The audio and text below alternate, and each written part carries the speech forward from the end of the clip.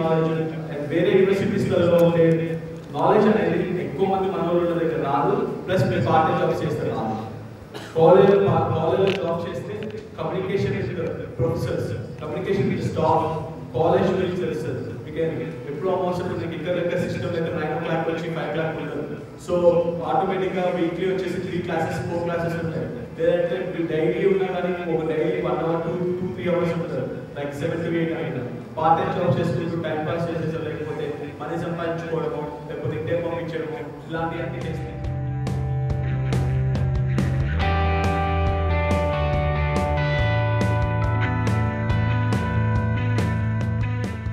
దానికి daily evening mid night twelve o'clock కల్లా twelve o'clock కల్లా సబ్మిట్ చేయాలి అండ్ మీరు చదువుకున్న ఆ కోర్స్ ఆ రోజు సాయంత్రం మీరు ఆ రెండు గంటలు చదివినానికి నైట్లో మీరు మాస్టర్స్ చేస్తున్నా ఈవెన్ బ్యాచిలర్స్ చేస్తున్నా మీరు సబ్మిట్ చేయాలి.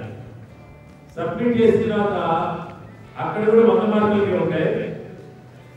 బట్ అక్కడ ఏంటంటే మీరు ఇంట్లో కూర్చొని మీకు ఇచ్చిన టైంలో అది ఓపెన్ అయినప్పుడు మీరు ఫిల్ చేసి ఇచ్చేసేసి అది అండ్ అప్పుడు మీకు ఒకవేళ మీ యావరేజ్ గ్రేడ్కి ఎలా ఉందంటే అక్కడ సుమారు మీకు హైయెస్ట్ మార్క్స్ వంద మార్క్స్ మీకు క్వశ్చన్ పేపర్ ఇస్తే ఆ క్వశ్చన్ మార్క్స్ అంటే ఆ యొక్క క్వశ్చన్ పేపర్లో ఒక ఎక్స్ అనే వాడికి ఎయిటీ మార్క్స్ హైయెస్ట్ అనుకున్నారు ఆ ఎయిటీ మార్క్స్ని మీకు ఒకవేళ సెవెంటీ వచ్చిన మిమ్మల్ని సెవెంటీ మార్క్స్ కింద కంపేర్ చేయండి.